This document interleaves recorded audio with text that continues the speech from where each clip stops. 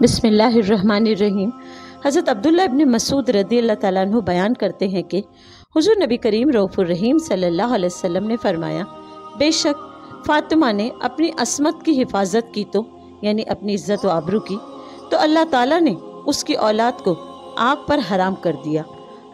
सल्लि अला मोहम्मद व आले मोहम्मद।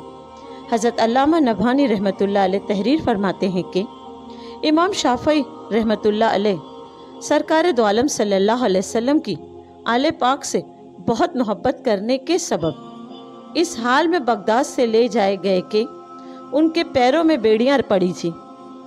बल्कि अहले अहले बैत रसूलुल्लाह सल्लल्लाहु अलैहि वसल्लम से उनकी मोहब्बत यहाँ तक पहुँची कि कुछ लोगों ने उन्हें रावजी कह दिया। तो आपने उनको जवाब देते हुए फरमाया, अगर आले रसूल की मोहब्बत ही का नाम रावजी होना है तो तमाम जिन व इंस गवाह हो जाए कि मैं रावजी हूँ। कसम है उस ज़ात की जिसके कब्ज़े कुदरत ने मेरी जान है, जिस किसी ने भी हमारे अहल बैस से बुग्ज रखा, अल्लाह ने उसको जहन्नम में दाखिल किया। अली ने अभी तालिब सलाम की मोहब्बत गुनाहों को इस तरह ख़त्म कर देती है, जिस तरह आग लकड़ी को।